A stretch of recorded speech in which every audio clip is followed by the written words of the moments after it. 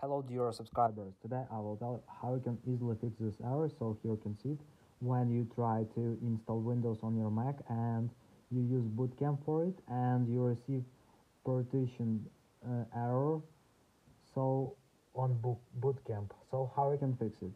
So for fixing it, first thing you need to try just open Launchpad, just open other apps here and just find here disk utility. So just open disk utility. So after just choose your uh, hard drive and just tap on partition.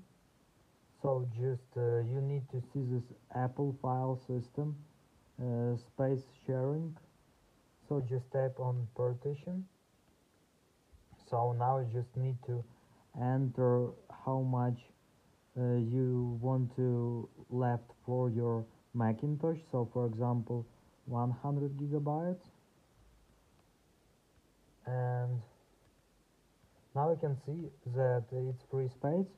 So now just uh, just tap on this untitled and you just make it active. And now you can also write a new name for it. So for example free.